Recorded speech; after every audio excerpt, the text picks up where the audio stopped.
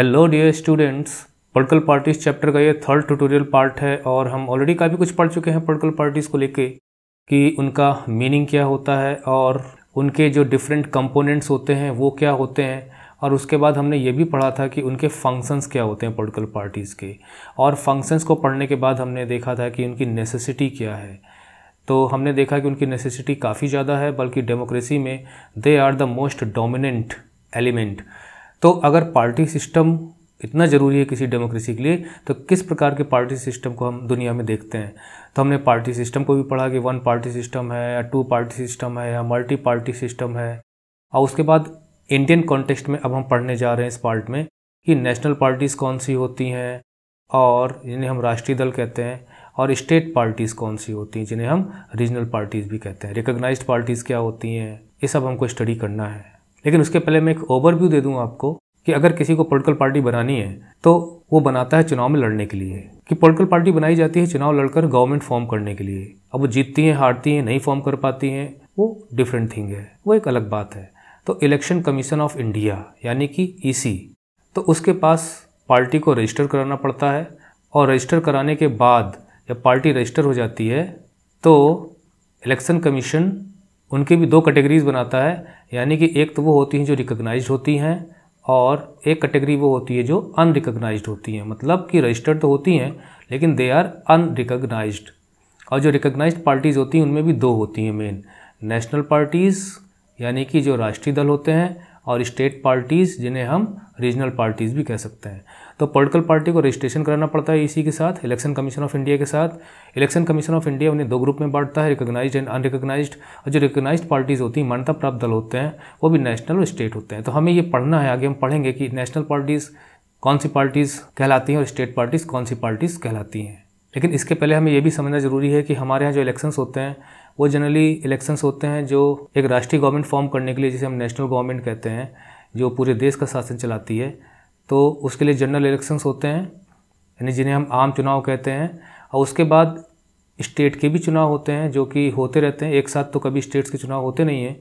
इनको हम कहते हैं लोकसभा के चुनाव, यानी कि इलेक्शंस टू पार्लियामेंट यानी इसमें एमपी चुन के आते हैं, और इसमें एम चुन के जाते हैं मेंबर्स ऑफ़ लेजिस्लेटिव असेंबलीज़ तो इसलिए जो स्टेट के चुनाव होते हैं, उन्हें लेजिस्लेटिव असेंबलीज चुनाव कहा जाता है, यानी लेजिस्लेटिव असेंबलीज चुनाव। तो इसलिए हम इन टर्म्स का यूज़ करेंगे जब हम समझने की कोशिश करेंगे। और हमारे यहाँ लोकल गवर्नमेंट के भी चुनाव होते हैं। जैसे कि पंचायती एंड म्यूनसिपल बॉडीज़ के, जो हम ऑलरेडी फेडरलिज्म के चैप्टर में पढ़ चुके हैं। लेकिन हम यहाँ पर इन्हीं पे फोकस करेंगे। नेशनल पार्टीज़ रीजनल पार्टीज़ की बात आएगी तो ये आउट ऑफ़ मीनू है अभी हमारे इसमें। और साथ में ये भी जान लेते हैं कि जो हमारी पार्लियामेंट के चुनाव होते हैं, वो सीटें तो हैं कुल मिला के 545 लेकिन टू नॉमिनेटेड होती हैं तो 543 पे चुनाव होता है। तो आइए अब हम अपने टॉपिक की तरफ़ बढ़ते हैं और सीधा पहुँचते हैं नेशनल पार्टीज़ की तरफ़। ये हैं national parties democracies that follow a federal system वो डेमोक्रेसीज जो फेडरल सिस्टम को फॉलो करती हैं। मींस जहाँ पर एक नेशनल गवर्नमेंट भी होती है और इसके अलावा बहुत सी स्टेट गवर्नमेंट्स भी होती हैं, जैसे इंडिया में, जैसे अमेरिका में। All over the world tend to have two kind of political parties तो वहाँ पर दो तरह के हमें दल देखने को मिलते हैं। कहाँ? जहाँ पे फेडरल स्ट्रक्चर है। अब जैसे श्रीलंका का अगर हम उदाहरण लें तो श्रीलंका में डेमोक्रेसी है, लेकिन वहाँ पे फेडरल स्ट्रक्चर नहीं है। वहाँ सिर्फ़ और सिर्फ़ नेशनल गवर्नमेंट होती है। पावर शेयरिंग और फेडरलिज्म के चैप्टर में हम ऑलरेडी इन सबको स्टडी कर चुके हैं गो एंड वॉच और हाँ ये आपको पता ही है कि चैप्टर एक्सप्लेनेशन सीरीज़ है ये। यहाँ पे हम सिर्फ़ बुक का जो टेक्स्ट मैटर है, उसको एक्सप्लेन करते हैं और कभी कभी एक्स्ट्रा इन्फॉर्मेशन भी आपको देते रहते हैं। कॉन्सेप्ट को क्लियर करने की कोशिश करते हैं। लेकिन अगर आपको पॉइंट्स चाहिए, आपको नोट्स चाहिए बोर्ड एग्ज़ाम के लिए तो उसके लिए आप हमारी जो नोट्स सीरीज़ है, उसे आप देख सकते हो। और उनके वीडियोस को ढूँढने में प्रॉब्लम नहीं होगी। आपको सिर्फ़ चैप्टर का नेम लिखना है और उसके आगे अजीत सर लिख देना है। A J double E T N Ajeet sir. वो वीडियो आपको मिल जाएगा। तो दो तरह के राजनीतिक दल हमें पोलिटिकल पार्टीज़ देखने को मिलती हैं। Parties that are present in only one of the federal units ये फेडरल यूनिट्स हैं। जैसे हमारे यहाँ अभी 28 स्टेट्स हैं, क्योंकि जम्मू कश्मीर को एक यूनियन टेरिटरी बना दिया गया है। तो 28 स्टेट्स हो गए। तो these are the federal units तो एक नेशनल गवर्नमेंट होगी और हमारे यहाँ अगर हम स्टेट को लें तो 28 फेडरल यूनिट्स हैं। इनमें अलग सरकारें होती हैं और इनका चीफ मिनिस्टर होता है इन फेडरल यूनिट्स का, जिन्हें हम स्टेट कहते हैं अपने यहाँ। तो इसलिए कुछ पार्टीज़ तो ऐसी हैं जो present in only one of the federal units तो one of the federal units का मतलब 28 फेडरल यूनिट्स हैं तो इसमें से किसी एक में, जैसे मान लीजिए उत्तर प्रदेश, या हम मान लेते हैं बिहार। तो किसी एक में ही वो पार्टीज़ सक्रिय होती हैं, एक्टिव होती हैं, चुनाव में पार्टिसिपेट करती हैं और अपोजिशन में बैठती हैं कि गवर्नमेंट फॉर्म करती हैं, वो दैट इज़ डिफरेंट थिंग तो एक तो ये दल हो गए and parties that are present और ऐसे भी दल होते हैं in several or all units of the federation तो कुछ दल ऐसे भी होते हैं जो 28 के 28 राज्यों में भी सक्रिय होंगे एक्टिव होंगे, चुनाव में पार्टिसिपेट करते होंगे या कुछ राज्यों में, जैसे तीन राज्यों में, चार राज्यों में पाँच राज्यों में इस तरह के भी दल होंगे और साथ साथ पूरे देश में भी वो फैले हुए होंगे। जैसे अगर हम उदाहरण लें तो कांग्रेस है और बीजेपी, ये दो ऐसे दल हैं जो लगभग हर राज्य में सक्रिय हैं, यानी कई स्टेट्स में उनकी गवर्नमेंट्स भी फॉर्म हुई हैं। तो ये बात यहाँ पर आपको समझ में आ जानी चाहिए, कोई प्रॉब्लम नहीं होनी चाहिए। This is the case in India as well India में भी ऐसा ही है। There are some country wide parties कुछ हमारे यहाँ कंट्री वाइड पार्टीज़ हैं मतलब पूरे देश में सक्रिय हैं which are called national parties इन्हें हम नेशनल पार्टीज़ कहते हैं, राष्ट्रीय दल कहते हैं, जो पूरे देश में जब चुनाव होता है तो वहाँ पे वो अपने उम्मीदवारों को खड़ा कर सकते हैं कैंडिडेट खड़ा कर सकते हैं, चुनाव लड़ा सकते हैं पूरे देश में, किसी भी राज्य में, किसी भी सीट पर. These parties have their units in various states तो ये जो नेशनल पार्टीज़ होती हैं, इन पार्टीज़ की जो यूनिट्स होती हैं मतलब इनकी वर्किंग जो ऑर्गेनाइजेशंस होते हैं वो कई स्टेट्स में पाए जाते हैं, जैसे उदाहरण के लिए। अभी देखिए, नेशनल गवर्नमेंट बीजेपी की है, पूरे देश के लिए बनी हुई है। अब अगर हम देखें तो एमपी में भी इनकी सरकार है यूपी में भी इनकी सरकार है। तो वही बात हो गई ना, कि ये नेशनल पार्टीज़ हैं और इन पार्टीज़ की यूनिट्स अदर स्टेट्स में भी होती हैं। कांग्रेस की बात करें तो कांग्रेस नेशनल गवर्नमेंट तो फॉर्म नहीं कर पाई अब की बार, यानी पिछले दो बार से 2014 इलेक्शंस हुए उसमें भी और 2019 के इलेक्शंस हुए उसमें भी वो गवर्नमेंट फॉर्म नहीं कर पाई। लेकिन अगर हम राजस्थान की बात करें, अगर हम छत्तीसगढ़ की बात करें तो यहाँ पर कांग्रेस की सरकारें हैं। तो इस तरह की पार्टीज़, नेशनल पार्टीज़ होती हैं, जिनकी गवर्नमेंट अदर स्टेट्स में भी हो सकती है। लेकिन अभी हम आगे देखेंगे कि नेशनल पार्टीज़ का क्राइटेरिया क्या होता है।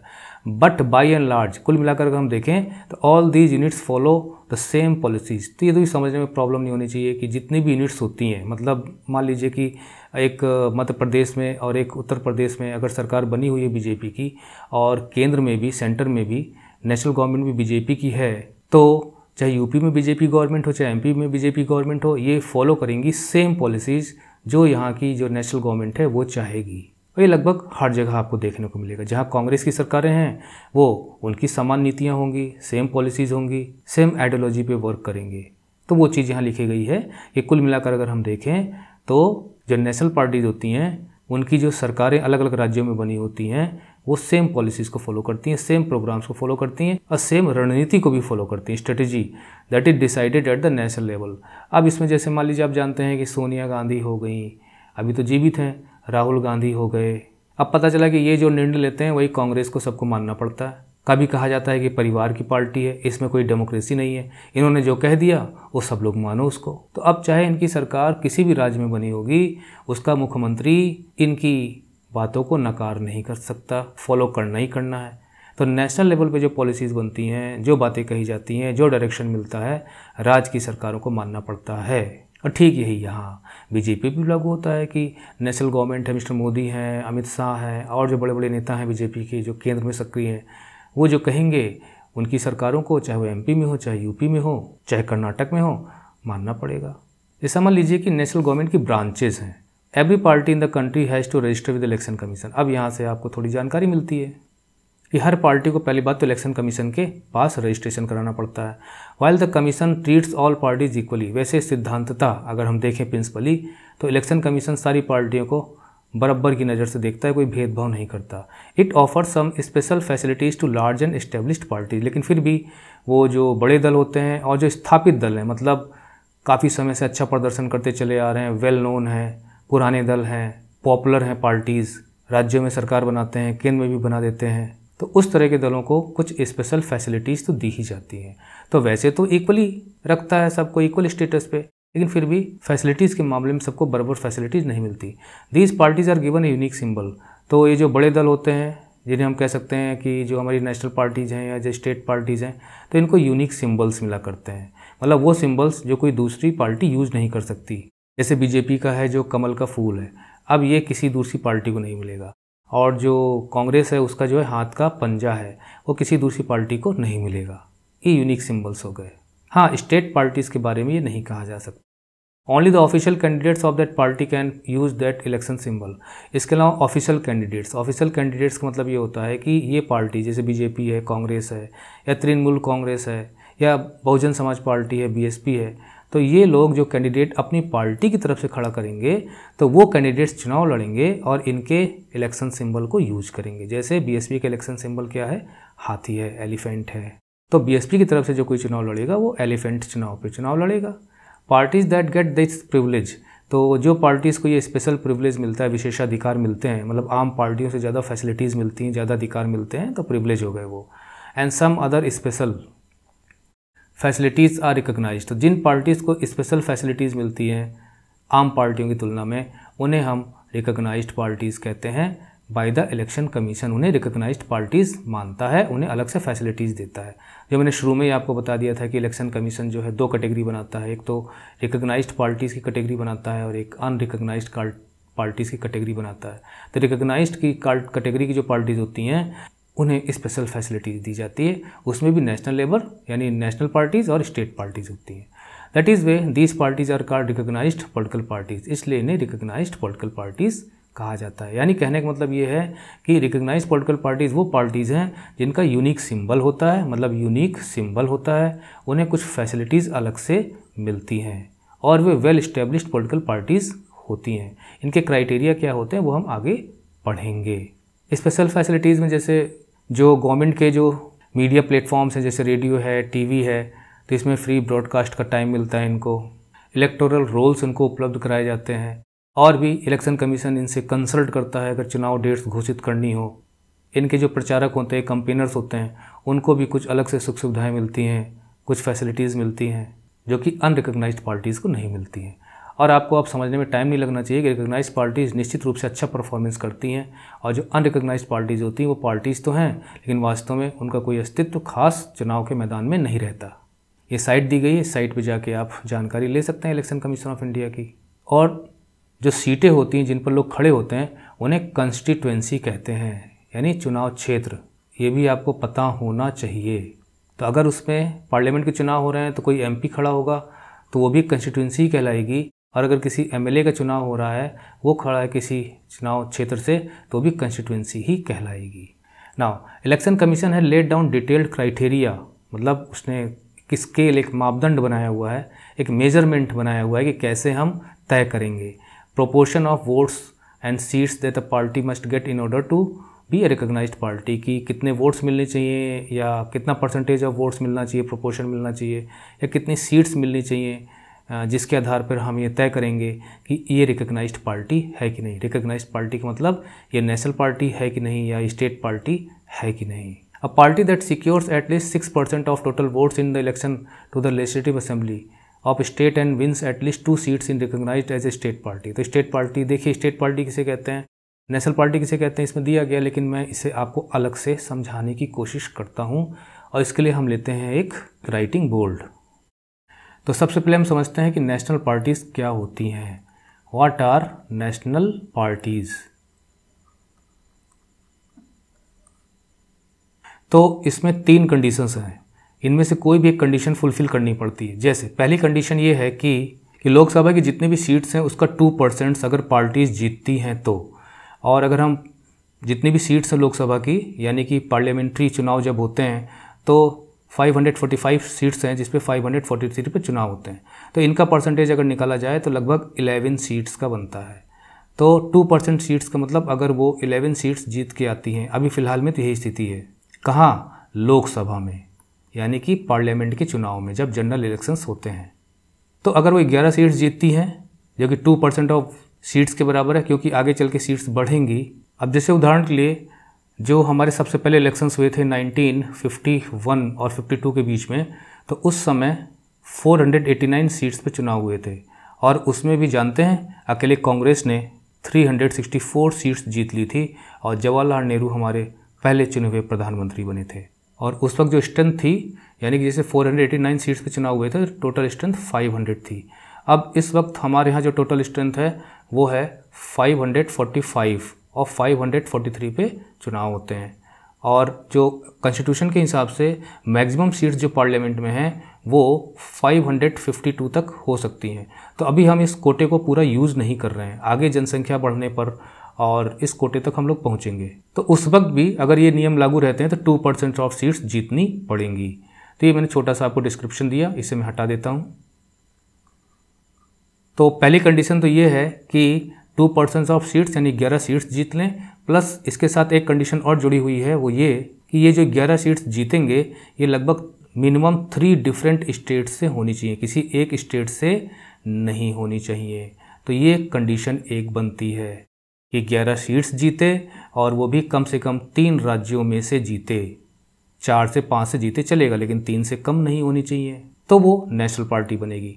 दूसरी कंडीशन ये है कि अब इसमें देखिए दो कंडीशन लगा दी गई। अगर मैं यहाँ पे एक इस तरह से लाइन खींच दूँ तो नाउ टू कंडीशंस दूसरी ये है कि पार्लियामेंट्री इलेक्शंस हों या स्टेट इलेक्शंस हों सिक्स परसेंट ऑफ़ वोट्स अगर कोई पार्टी पाती है, यहाँ पर वोट्स का मतलब होता है वैलिड वोट्स यानी जो इलेक्शन कमीशन जिन्हें वैलिड वोट्स कहता है, जिन्हें गिनती में यूज़ किया जाता है, किसी भी कैंडिडेट के रिज़ल्ट को निकालने के लिए। क्योंकि कई वोट्स इनवैलिड भी घोषित कर दिए जाते हैं। तो नियम के मुताबिक वोट्स पड़ते हैं तो उन्हें वैलिड वोट कहा जाता है। तो उसके टोटल सिक्स परसेंट वोट्स वो भी कोई भी इलेक्शन हो, चाहे स्टेट इलेक्शन हो, चाहे वो पार्लियामेंट्री इलेक्शन हो, उसके सिक्स परसेंट वोट्स और ये जो सिक्स परसेंट वोट्स हैं, ये कम से कम इसके साथ कंडीशन जुड़ी हुई है, वो ये कि चार या चार से ज़्यादा राज्यों में, यानी फोर या फोर से ज़्यादा स्टेट्स में ये सिक्स परसेंट वोट्स मिलने चाहिए। पार्टी को पाँच राज्य में मिल जाए छः राज्यों में मिल जाए, चलेगा, लेकिन चार से कम नहीं होना चाहिए।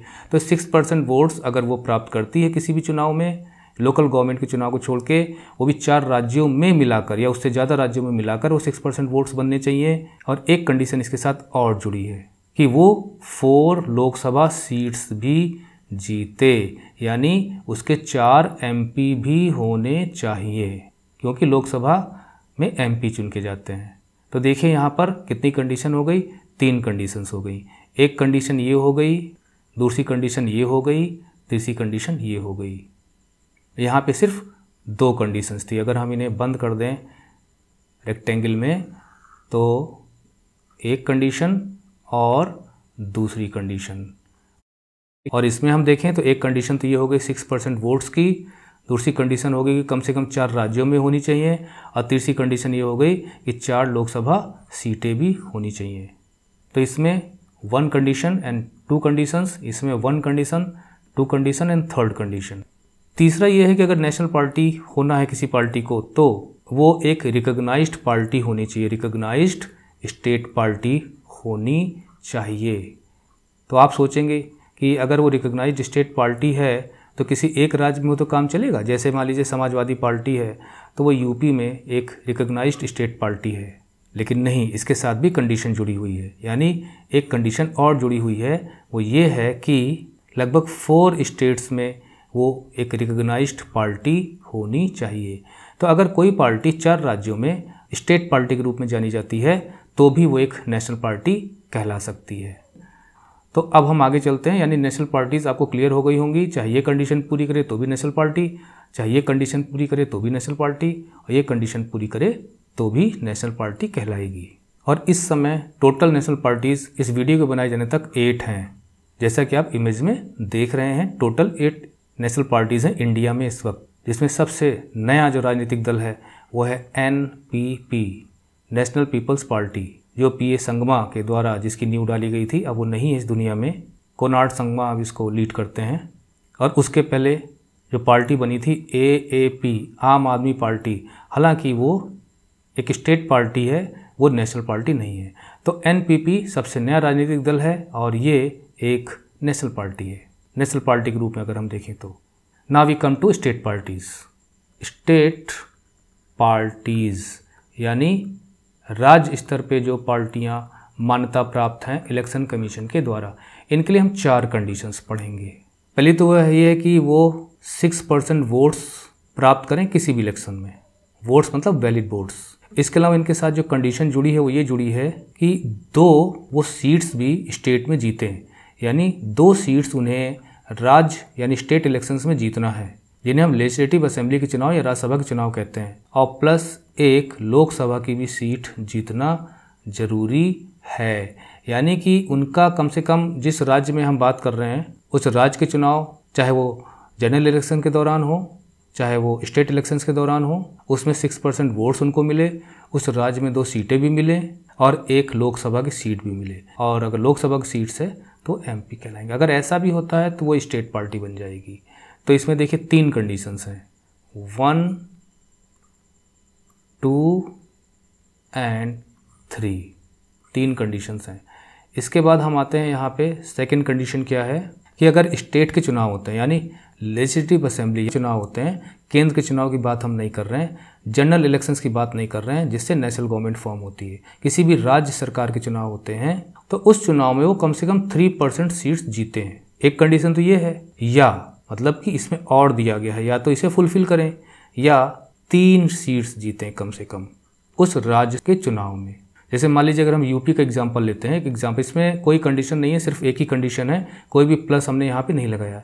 जैसे हम अगर यूपी का एग्ज़ाम्पल लें, ये समझने के लिए तो यूपी में 80 सीट्स हैं, और इन 80 सीट्स का अगर हम 3 परसेंट निकालें तो ये लगभग जाएगा 2.4 यानी कि लगभग थ्री सीट्स पड़ेगा। जबकि अन्य राज्यों में जहाँ पर कम सीटें हैं, क्योंकि यूपी में सबसे ज़्यादा सीटें हैं। एट्टी एम चुन के जाते हैं यहाँ से। तो उन राज्यों में थ्री परसेंट सीट्स हो सकता है कम हो तो इसलिए यहाँ पे कंडीशन डाल दी गई है। तो वो चाहे थ्री परसेंट सीट्स जीतें या मिनिमम थ्री सीट्स जीतें। और तीसरी कंडीशन है कि वन सीट पर ट्वेंटी फाइव सीट्स ये सीट्स आपकी लोकसभा की हैं। लोकसभा की सीट्स की हम यहाँ पे बात कर रहे हैं। यानी जब लोकसभा के चुनाव होते हैं, जैसे हम यूपी का एग्जांपल लें तो यूपी में 80 सीट्स हैं। यानी 80 सीट्स पर एम चुन के जाते हैं, पार्लियामेंट्री इलेक्शंस होते हैं। तो इसमें से आप इस हिसाब से कितनी सीटें निकाल सकते हैं कि हर 25 पे एक सीट जीतना है? तो अगर आप इसे 25 से डिवाइड करेंगे तो ये बनेगा 25 फाइव थ्री जा सेवेंटी फाइव और ट्वेंटी फाइव टू जा एट्टी, यानी लगभग फोर सीट्स बनेंगी यहाँ पे। और इस प्रकार से हर राज्यों का अलग अलग होगा। इसलिए यहाँ पर एक और कंडीशन रखी गई है कि कुछ राज्यों के लिए इलेक्शन कमीशन अलग से व्यवस्था कर सकता है। मतलब can allot different fractions of seats लेकिन जनरली यही माना गया है कि हर 25 सीट पे लोकसभा की 25 सीटों पर एक सीट चुन के आना। लेकिन हर जगह तो एक जैसी सीट्स हैं नहीं राज्यों में। कई राज्य ऐसे हैं जहाँ पर 25 सीट्स भी नहीं है। तो वहाँ पर अलग से इलेक्शन कमीशन फ्रैक्शंस अलॉट करता है। इसे मिटा देते हैं। और चौथी कंडीशन ये है जो कि एक नई कंडीशन एक नया क्लॉज जोड़ा गया है कि किसी भी राज्य सरकार के चुनाव होते हैं, यानी विधानसभा के तो वहाँ पर अगर वो एट परसेंट सीट्स प्राप्त करती है तो भी वो एक स्टेट पार्टी की तरह रिकॉग्नाइज्ड की जा सकती है। एक उसे राज्य स्तर का दल माना जा सकता है। ये परसेंटेज का आप क्या मतलब समझते हैं? मान लीजिए सौ लोगों ने वोट दिया। या हम मानते हैं कि 120 लोगों ने वोट दिया, जिसमें से 20 वोट्स इनवैलिड माने गए 100 वोट्स वैलिड माने गए तो इसमें से 8 वोट्स या इससे ज़्यादा अगर मिलते हैं तो 8 परसेंट वोट्स कहलाएँगे। ये आप हर जगह लागू कर सकते हो। अगर वो परसेंटेज ऑफ़ वोट्स है तो तो अगर किसी पार्टी को ये स्थिति भी मिलती है उसकी तो भी उसे हम स्टेट पार्टी घोषित कर सकते हैं इलेक्शन कमीशन ऐसा कहता है। लेकिन इतना कुछ आपकी बुक में लिखा नहीं गया है, लेकिन मैंने सोचा कि आपको मैं इन्फॉर्मेशन दूँ, क्योंकि पॉलिटिकल सिस्टम के बारे में आपको जानकारी होनी चाहिए। अब हम चलते हैं बुक में देखते हैं कि बुक में क्या क्या कंडीशंस आपको दी गई हैं, समझाई गई हैं। तो यहाँ पर बताया गया कि a party that secures at least six percent of total votes अगर उसे टोटल वोट्स के सिक्स परसेंट मिलते हैं, वो भी लेजिस्लेटिव असेंबली यानी विधानसभा के जो चुनाव होते हैं किसी राज्य में, अगर उसे सिक्स परसेंट वोट्स मिलते हैं और वो दो सीट्स भी जीतती है तो उसे स्टेट पार्टी कहा जा सकता है। तो मैं अब इसको ज़्यादा डिटेल में नहीं बताऊँगा क्योंकि मैं ऑलरेडी एक्सप्लेन कर चुका हूँ। A party that secures at least six percent of total votes in Lok Sabha तो देखिए इन्होंने सिक्स परसेंट को यहाँ पर एक डेटा बनाया है, अपना सिक्स परसेंट यहाँ भी और सिक्स परसेंट यहाँ भी, जो कि हमने वहाँ पे भी देखा था। कि अगर उसे six percent of total votes मिलते हैं लोकसभा इलेक्शंस में या असेंबली इलेक्शंस में, वो भी कम से कम चार राज्यों में और कम से कम चार सीट्स भी जीतती है लोकसभा में तो उसे नेशनल पार्टी माना जा सकता है। तो मैं सब ऑलरेडी समझा चुका हूँ, यहाँ क्लियर नहीं दिया गया। अकॉर्डिंग टू दिस क्लासिफिकेशन अगर इस क्लासिफिकेशन को देखें there were seven recognised national parties तो अब ये डेटा चेंज हो चुका है, मैंने बताया अब आठ है। उनकी लिस्ट भी मैंने आपको शो कर दी थी। ये 2018 की बात थी। मैं यहाँ पर आपको लेटेस्ट बता रहा हूँ 2019 इलेक्शंस के बाद की। Let us learn something about each of this parties लेकिन आगे बढ़ने से पहले मैं आपको ये बता दूँ कि चाहे नेशनल पार्टीज़ हों, चाहे स्टेट पार्टीज़ हों, उन्हें बराबर परफॉर्मेंस करते रहना पड़ता है। इन क्राइटेरिया को फुलफिल करते रहना पड़ता है। नहीं तो ये अपना स्टेटस लूज कर देंगी। और ऐसा होता रहा है। अभी भी जो एट नेशनल पार्टीज़ हैं, इसमें से तीन पर इलेक्शन कमीशन की नज़र है कि उन्हें कहा भी गया है कि आप अपना नेशनल पार्टी का स्टेटस वापस ले लीजिए। जैसे तृणमूल कांग्रेस की हम बात करें तो। टीएमसी जिसे कहते हैं, जिसकी नेत्री हैं Mamata Banerjee. Let us learn something about each of this parties तो आइए, कुछ पार्टीज़ के बारे में हम स्टडी करते हैं। तो आगे बढ़ने से पहले, मुझे लगता है आपको सारी चीज़ें क्लियर हो चुकी हैं कि पोलिटिकल पार्टीज़ को रजिस्ट्रेशन कराना पड़ता है इलेक्शन कमीशन के पास और उसके बाद वो उन्हें रिकग्नाइज कर सकता है, उनके परफॉर्मेंस के आधार पर। नेशनल पार्टी घोषित कर सकता है स्टेट पार्टी घोषित कर सकता है। अभी देखिए स्टेट पार्टीज़ लगभग बावन हैं। ये डेटा थोड़ा बहुत यहाँ वहाँ भी होता रहता है। हो सकता है कि आगे चल के घट बढ़ जाए और एट नेशनल पार्टीज़ जो मैंने आपको बताया था। तो रजिस्ट्रेशन कराना पड़ता है, उसके बाद रिकोगनाइज अनरिकग्नाइज पार्टीज़ घोषित होती हैं। और पिछले वीडियो मैंने बताया था कि लगभग अभी हमारे पास, हमारे देश में जो रजिस्टर्ड पार्टीज़ हैं, वो लगभग 2598 है, जो विकीपीडिया के डेटा के अनुसार है। और उसमें से लगभग 2538 पार्टीज़ अनरिकग्नाइज्ड हैं। बाकी रिकग्नाइज्ड हैं। और रिकग्नाइज पार्टीज़ को क्या फैसिलिटीज़ मिलती है, वो भी मैं ऑलरेडी आपको बता चुका हूँ। नेशनल पार्टीज़ के लिए क्या कंडीशंस फुलफिल करनी होंगी स्टेट पार्टीज़ के लिए क्या कंडीशन फुलफिल करनी होगी, क्या क्राइटेरिया फुलफिल करने होंगे, वो भी हमने ऑलरेडी देख लिया। तो चलिए कुछ स्टेट और नेशनल पार्टीज़ को स्टडी करते हैं। ऑल इंडिया तृणमूल कांग्रेस हालाँकि शुरुआत तो कांग्रेस से करनी चाहिए थी, क्योंकि सबसे पुरानी पार्टी कांग्रेस है। Anyway A I T C all India Trinamool Congress launch on 1 January 1998 इसे हम जल्दी जल्दी पढ़ लेते हैं। 1998 में ये पार्टी बनाई गई थी। Under the leadership of Mamata Banerjee ने इस पार्टी को बनाया था। Recognised as a national party 2016 में इसे नेशनल पार्टी का दर्जा मिला और जो अभी तक बरकरार है। The party symbol is flowers and grass ये जो आप देख रहे हैं। Committed to secularism and federalism अब इसकी आइडियोलॉजी को हम देखते हैं कि सेकुलरिज्म यानी धर्मनिरपेक्षता और फेडरलिज्म को वो मानती है अपनी आइडियोलॉजी को बेस है उसका। Has been in power in West Bengal since two thousand one eleven दो हज़ार ग्यारह से वो पावर में है. Also has a presence in Arunachal Pradesh Arunachal Pradesh में भी इसका कुछ असर है. मणिपुर में है, त्रिपुरा में है. In general election held in 2019 देखिए, थोड़ा सा अपडेट है यहाँ पे. 2019 में जो चुनाव हुए थे, इसको 4.07 परसेंट वोट्स मिले थे और 22 सीट्स इसने जीती थी एमपी की मतलब पार्लियामेंट्री इलेक्शंस में. Making it the fourth largest party in the Lok Sabha good. Bahujan Samaj party, यानी कि बीएसपी फ़ेमस पार्टी है फॉर्म्ड इन 1984 इसका गठन 1984 में हुआ था। Under the leadership of Kanshiram इस पार्टी का जो फाउंडिंग फादर है, वो है Kanshi Ram seeks to represent and secure power for the Bahujan Samaj. ये लोग कहते हैं कि दलित समाज ज़्यादा है और ये बहुजन समाज उसे कहते हैं which includes the Dalit and Adivasi को भी शामिल करते हैं बहुजन समाज में। यानी ज़्यादा से ज़्यादा जन जिस समाज में शामिल हैं, वो बहुजन हैं। इंडिया में इनकी जनसंख्या सबसे ज़्यादा है, ये मानते हैं, इसलिए इनको बहुजन कहते हैं। ओ यानी जो अदर बैकवर्ड क्लासेस हैं, यानी पिछड़ा वर्ग जिसे हम कहते हैं एंड रिलीजियस माइनॉरिटीज़ जैसे मुस्लिम्स हैं क्रिश्चियंस हैं, बौद्ध हैं, इन सबको भी ये अपनी आइडियोलॉजी में, यानी ये मान के चलती है कि हम इनका रिप्रेजेंटेशन करते हैं, इनके लिए बातें करते हैं, इनके लिए हम संघर्ष करते हैं। Draws inspiration from the ideas and teachings of Sahu Maharaj अब इनके जो विचारों को प्रेरित करने वाले लोग कौन से हैं?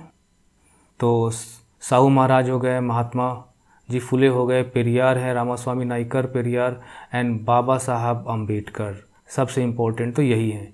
Stand for the cause of the securing the interest and welfare of Dalit दलितों की देखभाल, उनकी केयर करना, उनके बारे में पॉलिसीज़ बनवाना, उनकी बातों को, उनसे रिलेटेड इशूज़ को उठाना ऑल दीज थिंग्स ये पार्टी करती है। ऑपरेस्ड पीपल सताए हुए लोगों की भी बात करती है कि भी हम उनको रिप्रेजेंट करते हैं। It has its main base in the state of Uttar Pradesh अब ये है तो नेशनल पार्टी लेकिन इसका ज़्यादातर जो बेस है वो है उत्तर प्रदेश में।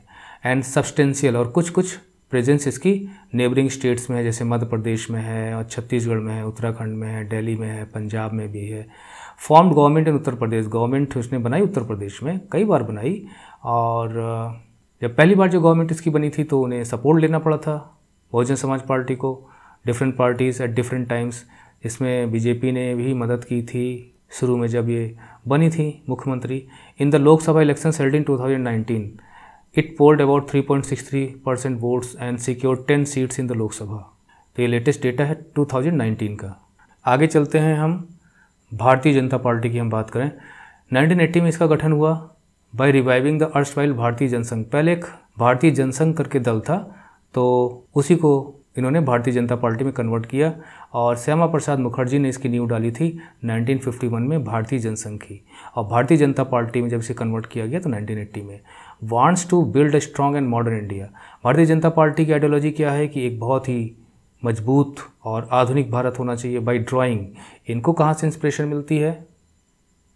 Inspiration from India's ancient culture ये भारत की जो पुरातन संस्कृति है एंसेंट कल्चर है उसके जो वैल्यूज़ हैं, जिसे कहा जाता है कि वसुदेव कुटुंबकम पूरा विश्व एक परिवार है तो भारत की विरासत और उसकी जो समृद्ध संस्कृति है, वो इसकी सोच का आधार है। एंड दीनदयाल उपाध्याय आइडियाज़ तो दीनदयाल उपाध्याय को भी ये लोग काफ़ी मानते हैं तो उनके विचारों से भी प्रेरित हैं, जो कि इंटीग्रल ह्यूमनिज़्म की बात करते हैं, यानी अंत्योदय की बात करते हैं कि अंतिम आदमी का भी उदय होना चाहिए, सबका भला होना चाहिए। मानवता की बात करते हैं, सारे मानव एक होके यानी इंटीग्रल ह्यूमनिज़्म की बात करते हैं, कोई भेदभाव नहीं होना चाहिए। कल्चरल नेशनलिज्म की बात करते हैं, जैसे हिंदुत्व भी कहा जाता है। हिंदुत्व को आप हिंदू ना समझिए, हिंदुत्व का मतलब ये होता है राष्ट्रवाद, सांस्कृतिक राष्ट्रवाद, क्योंकि भारत को हिंदुस्तान भी कहा जाता है। Is an important element in its conception of Indian nationhood and politics. तो इसकी पॉलिटिक्स का आधार ही यही है। इसका कंसेप्ट ही इसी आधार पर है कि भारत एक मज़बूत राष्ट्र बनकर उभरना चाहिए। अपनी राजनीति वो इसी के इर्द गिर्द रखती है और आपने देखा भी होगा जब मोदी गवर्नमेंट है, वो मिलिट्री को स्ट्रॉन्ग बनाना और बॉर्डर्स को स्ट्रॉन्ग करना और कैसे आधुनिक भारत बनाया जा सकता है, उसके लिए प्रयासरत रहती है, चाहे रेलवेज़ हो, चाहे रोडवेज़ हो, चाहे एयरवेज़ हो, चाहे दूसरे देशों से संबंध स्थापित करने की बात हो। और डिजिटल इंडिया भी देख लीजिए, एक नई चीज़ है जो हमें देखने को मिल रही है। Wants full territorial and political integration of Jammu and Kashmir और जम्मू एंड कश्मीर को लेकर एक और नीति है इनकी कि ये भारत में पूरी तरह से मिला लिया जाना चाहिए। तो इसके बारे में मैं ऑलरेडी डिस्कस कर चुका हूँ।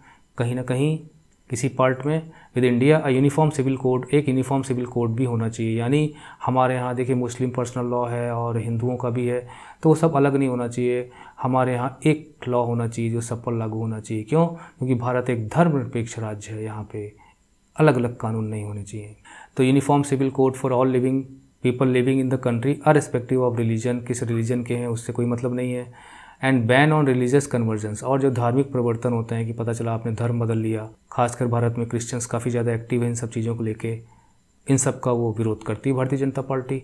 Its support base increase substantially in the nineteen nineties nineteen nineties के बाद ये अचानक उस वक्त मंदिर मुद्दा भी चल रहा था और मंडल कमीशन भी चल रहा था। तो वहाँ से बढ़ना शुरू हुई और फिर देखिए 2014 में भी पूर्ण बहुमत और 2019 में भी और भी इससे ज़्यादा सीटें जीत कर आई। कभी इसकी दो सीट्स हुआ करती थी। भारतीय लोकतंत्र की विजय है कि जनता सरकार बदलती रहती है। कभी कांग्रेस का ज़माना था और आज कांग्रेस 60 सीट्स भी नहीं है उसके पास पार्लियामेंट में। और 2014 के चुनाव में तो उसके पास 10 परसेंट सीट्स भी नहीं थी लोकसभा की, क्योंकि इसके लिए अपोजिशन पार्टी बनने की भी काबिलियत उसके अंदर नहीं थी।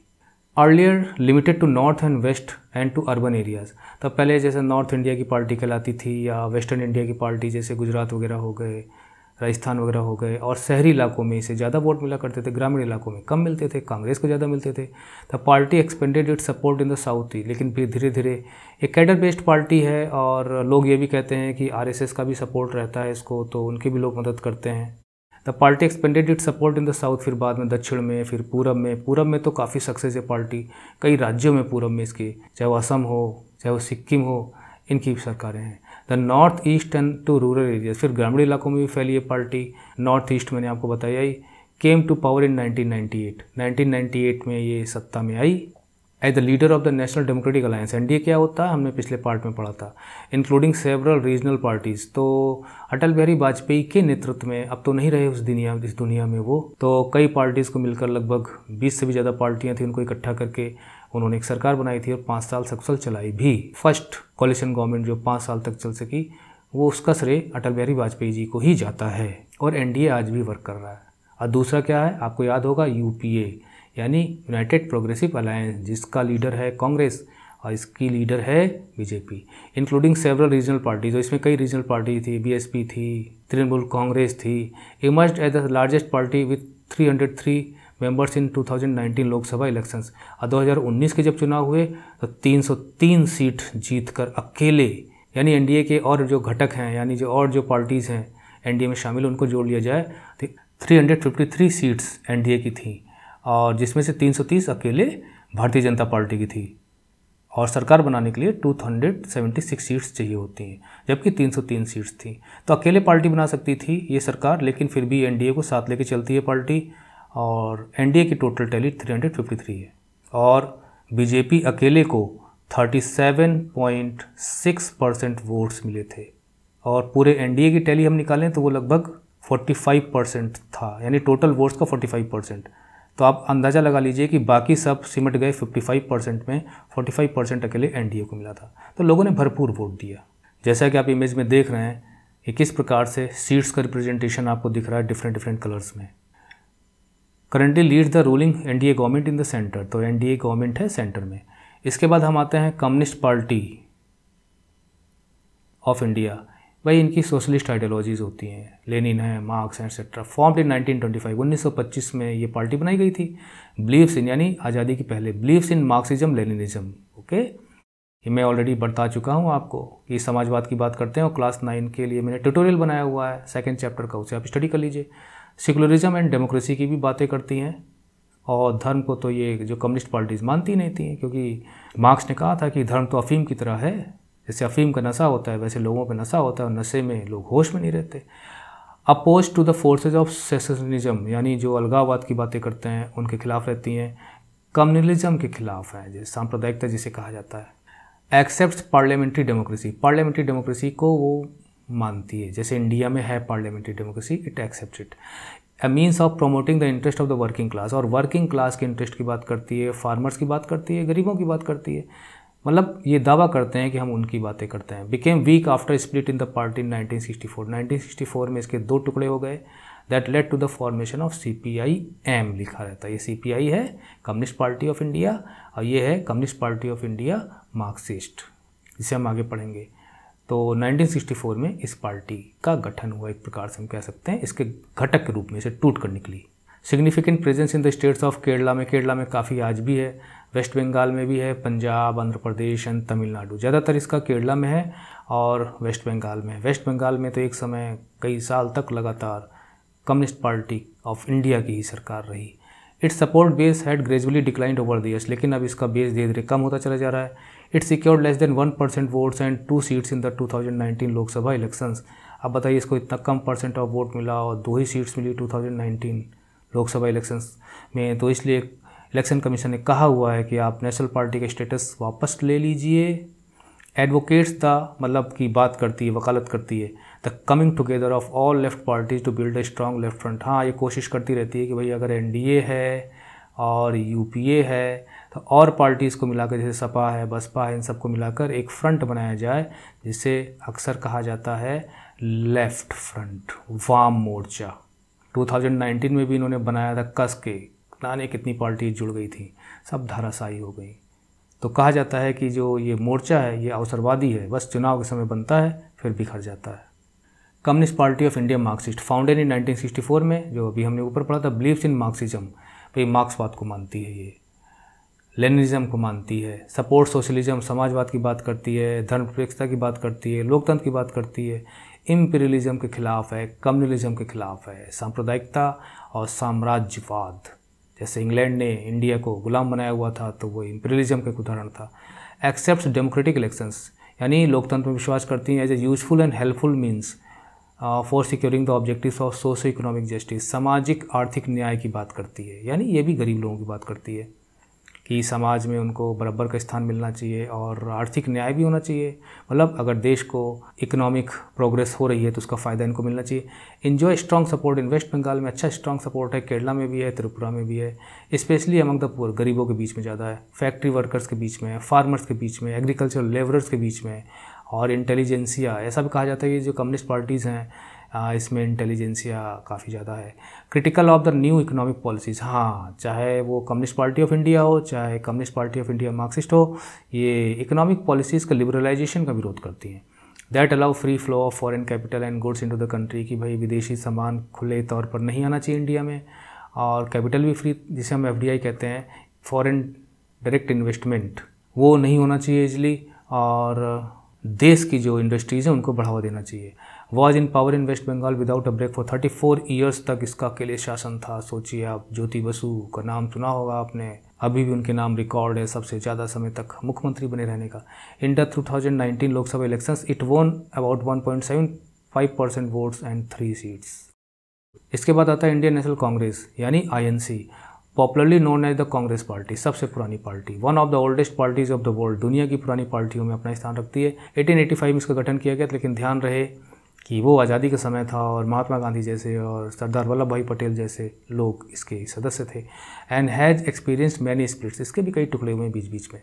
Played a dominant role in Indian politics Indian politics में काफ़ी इंपॉर्टेंट रोल इसका रहा है। At the national and state level national level पे भी स्टेट लेवल पे भी। Decades after India's independence India independence के बाद लगभग 1990 तक तो भाई इसने राज किया। Under the leadership of Jawaharlal Nehru हैं। The party sought to build a modern secular democratic republic तो जवाहरलाल नेहरू के नेतृत्व में काफ़ी योगदान उनका भी था कि पार्टी का ये था कि भाई मॉडर्न इंडिया होना चाहिए सेकुलर डेमोक्रेटिक रिपब्लिक होना चाहिए, यानी धर्मनिरपेक्ष भी होना चाहिए।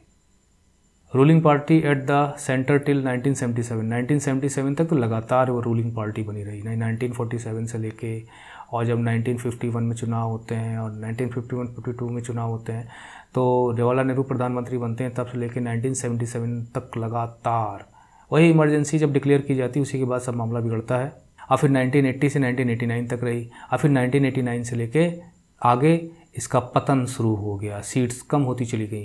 लेकिन अभी भी continues to be present throughout the country पूरे देश में फैली हुई है party. Cutting across social divisions ये कहती है कि भाई, हम समाज में किसी के साथ भेदभाव नहीं करते हैं और हमें सबका वोट मिलता है। चाहे वो दलित हो, चाहे वो आदिवासी हो that is called cutting across social divisions कहा गया है। ए सेंटरिस्ट पार्टी एक केंद्रीकृत पार्टी है। मतलब ना तो राइटिस्ट है, ना लेफ्टिस्ट है। दरअसल, अब इसको आप ऐसे समझ लीजिए कि अगर हम बीच का पॉइंट लें तो जो लेफ्टिस्ट होते हैं, वो कम्युनिस्ट विचारधारा के माने जाते हैं। जो राइटिस्ट होते हैं, वो थोड़ा रेडिकल्स माने जाते हैं और तेज़ चेंजेस चाहिए उनको। जैसे बीजेपी को हम कह सकते हैं कुछ रेडिकल पार्टी है। ये बीच की है। यानी मॉडरेट पार्टी आप इसे कहते हैं। बैलेंस्ड एटीट्यूड लेके चलती है। तो इसका जो आइडियोलॉजिकल ओरिएंटेशन है, वो सेंट्रिस्ट पार्टी का है। The party espouses secularism and welfare of weaker sections. तो ये किसकी बात करती है? सेकुलरिज्म की बात करती है और जो गरीब लोग हैं, वीकर सेक्शंस हैं और जो माइनॉरिटीज़ हैं उनकी बात करती है। लोग कहते हैं कि हम भाई इनकी बातें करते हैं। The I N C supports new economic reforms और न्यू इकोनॉमिक रिफॉर्म्स को भी सपोर्ट करती है और बीजेपी भी करती है। But with a human face लेकिन वो चाहती है कि इकोनॉमिक रिफॉर्म्स ऐसे होने चाहिए कि गरीबों को नुकसान ना हो। Leader of the united progressive alliance और यूपीए की लीडर भी है, जो मैंने आपको पहले बताया। गवर्नमेंट फ्रॉम 2004 टू 2019 यानी कि 2004 से लेकर 2019 तक ये अभी भी ये अलायंस बना हुआ है यूपीए का। In the 2019 Lok Sabha elections it won 52 seats जो मैंने आपको बताया था कि 60 सीटें भी नहीं जीत पाई थी। 543 सीट्स पे चुनाव हुआ था और भाजपा के लिए 303 सीट्स पाई। यानी जब 2014 में चुनाव हुए थे, उससे भी ज़्यादा। आगे है nationalist Congress party. Nationalist Congress party formed in 1999 नई पार्टी है, लेकिन मैंने आपको नई पार्टी को उदाहरण दिए थे। आपका उदाहरण दिया था, आपको और नेशनल पीपुल्स पार्टी का उदाहरण दिया था। Following split in the Congress party Congress party से टूट कर बनी है। स्पाउजेड डेमोक्रेसी की बात करती है गांधीन सेकुलरिज्म की बात करती है, इक्विटी की, समानता की बात करती है, सोशल जस्टिस की बात करती है, फेडरलिज्म की भी बात करती है। Want the high officers in government be confined to natural born citizen और ये कहती है कि भाई, इसी इशू पे थोड़ा सा अलग भी हुई थी कि भारत की जो बड़े पद हैं, जैसे प्राइम मिनिस्टर है, राष्ट्रपति है, वो भारतीयों को ही मिलने चाहिए। इंडियन बॉर्न पीपल को मिलना चाहिए। A major part in Maharashtra में इसका बहुत बड़ा प्रभाव है and has a significant presence in Meghalaya में, मणिपुर में, असम में भी प्रभाव है। A coalition partner the state of Maharashtra in alliance with the Congress तो कांग्रेस के साथ मिलकर ये अलायंस बनाते हैं चुनाव में, चुनाव लड़ते हैं साथ में। Since 2004 a member of the united progressive alliance तो यूपीए का एक मेंबर भी है ये दल नेशनलिस्ट कांग्रेस पार्टी और अभी महाराष्ट्र में क्या स्थिति है? अभी महाराष्ट्र में ये स्थिति है इन्होंने शिवसेना को भी सपोर्ट किया हुआ है, जो कि कभी बीजेपी के नज़दीक मानी जाती थी। Congress plus NCP plus Shiv Sena तीनों ने मिलकर कांग्रेस और एनसीपी और शिवसेना तीनों ने मिलकर सरकार बनाई हुई महाराष्ट्र में, और आउटसाइड सपोर्ट है और मुख्यमंत्री शिवसेना का है।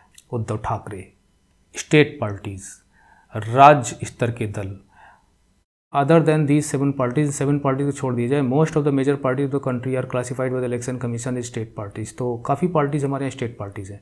These are commonly refer to as regional parties in regional parties भी कहते हैं yet these parties need not be regional in their ideology हाँ ये ज़रूरी है, नहीं है कि वो रीजनल पार्टी होने के नाते किसी एक ही रीजन में सक्रिय रहें, या उनका आउटलुक सिर्फ़ स्टेट से रिलेटेड हो। देश के प्रति भी इनका आउटलुक होता है, दृष्टिकोण होता है। Some of this parties are all India parties कुछ पार्टीज़ तो ऐसी हैं जो ऑल इंडिया पार्टीज़ हैं। मतलब कई राज्यों में चुनाव लड़ती हैं। That happen to have succeeded only in some states लेकिन कुछ ही राज्यों में सफलता मिली है। पार्टी लाइक समाजवादी पार्टी है, राष्ट्रीय जनता दल है नेशनल लेवल पॉलिटिकल ऑर्गेनाइजेशंस हैं, राष्ट्रीय स्तर के जो पॉलिटिकल ऑर्गेनाइजेशंस हैं, ये जो दो दलों को उदाहरण दिया गया, आपको समाजवादी पार्टी और राष्ट्रीय जनता दल। समाजवादी पार्टी यानी मुलायम सिंह की पार्टी है, आपने अखिलेश यादव का नाम सुना होगा। तो नेशनल लेवल के भी पोलिटिकल ऑर्गेनाइजेशन हैं, इनके with units in several states और कई राज्यों में इनकी यूनिट्स हैं। मतलब इनके ऑर्गेनाइजेशन वर्क करते हैं। Some of this parties like Biju Janata Dal जो कि उड़ीसा में है सिक्किम डेमोक्रेटिक फ्रंट है सिक्किम में है मीजो नेशनल फ्रंट है मिजोरम हो गया तेलंगाना राष्ट्रीय समिति है are conscious about the state identity तो देखिए इसमें जो कुछ नाम दिए गए जैसे बीजू जनता दल तो ये स्टेट आइडेंटिटी को लेके ज़्यादा सजग रहते हैं। यानी हमारे राज्य और वहाँ की जो कल्चर है, उसकी पहचान लैंग्वेज एट्सेट्रा तो वो बरकरार रहनी चाहिए। तो ये कुछ उदाहरण इन पार्टियों के हो गए। और इनका नाम भी देखिए, स्टेट से मिलता जुलता है। हालाँकि बीजू जनता दल तो नहीं पहचान पाएँगे। हालाँकि इनका नाम स्टेट से मिलता जुलता भी है। हालाँकि बीजू जनता दल को आप नहीं पहचान पाएँगे कि उड़ीसा की है सिक्किम से सिक्किम, मिजो से मिजोरम, तेलंगाना से तेलंगाना। तो ये पार्टियाँ राज्य के राज्य को लेकर ज़्यादा कॉन्शस हैं। Over the last three decades यानी पिछले तीन दशकों में, यानी तीस साल एक दशक दस साल का होता है। The number and strength of this parties is expanded तो देखिए, इन पार्टीज़ यानी रीजनल पार्टीज़ की संख्या बढ़ी है। देखिए, अब देखिए, मान लीजिए कि 29 स्टेट्स थे पहले, अब 28 ही मान लेते हैं। तो अक्सर हुआ ये क्या करता था कि जो नेशनल गवर्नमेंट होती थी, जैसे कांग्रेस की गवर्नमेंट है तो कई राज्यों में कांग्रेस की गवर्नमेंट होती थी। अब क्या हो रहा है कि कई राज्यों में वहाँ की रीजनल पार्टीज़ हैं, जैसे पश्चिम बंगाल में, बिहार में, उड़ीसा में, आंध्र प्रदेश में, महाराष्ट्र में, वहाँ के रीजनल पार्टीज़ ही हैं। तो इसलिए यहाँ लिखा गया है कि इनकी स्ट्रेंथ, इनकी ताकत बढ़ती चली गई है। This made the parliament of India politically more and more diverse देखिए डाइवर्स का मतलब होता है different different different types elements मतलब तरह तरह शब्द आना चाहिए। तो इस तरह से हमारी पार्लियामेंट में भी रिप्रेजेंटेशन वेरिड फॉर्म में देखने को मिलता है। पता चला कि पता चला बीजेपी के 303 हो गए।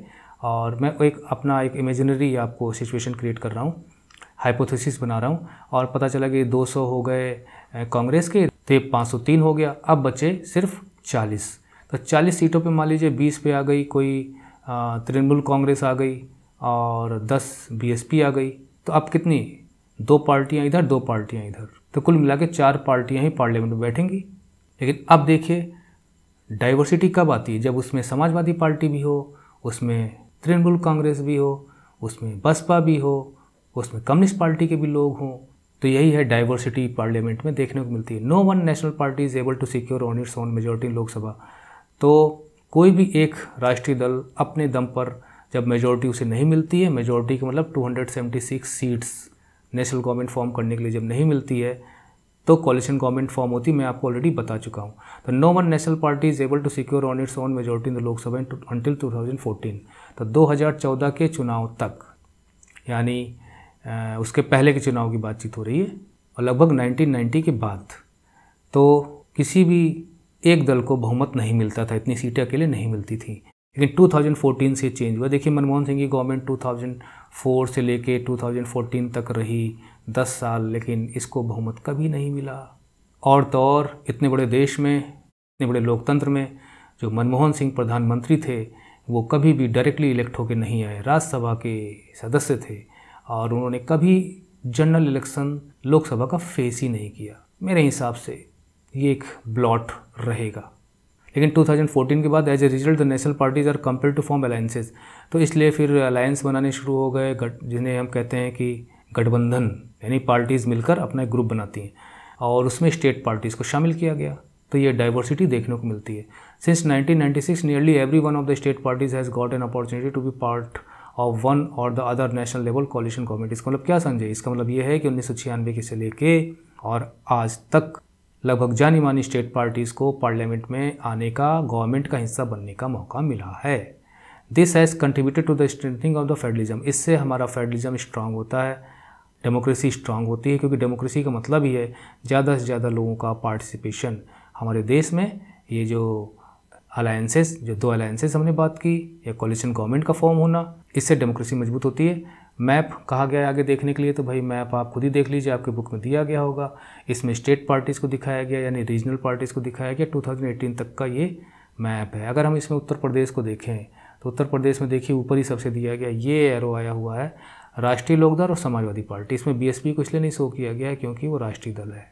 ऐसी अगर हम आए इधर पश्चिम बंगाल में तो देखिए, वेस्ट बंगाल में यहाँ पे ऑल इंडिया फॉरवर्ड ब्लॉक है रिवोल्यूशनरी सोशलिस्ट पार्टी है, केरला में भी है।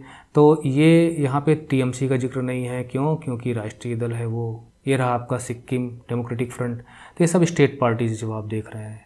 मेरे ख्याल से आप समझ गए होंगे जो कुछ भी इस नेशनल पार्टीज़ स्टेट पार्टीज़ के बारे में समझना था और जो यहाँ पे कुछ स्टेट पार्टीज़ का नाम दिया गया इधर कुछ नेशनल पार्टीज़ के बारे में हमने स्टडी किया। So thank you. Thank you for watching the video tutorial. See you in the next video. Till then, goodbye. Take care.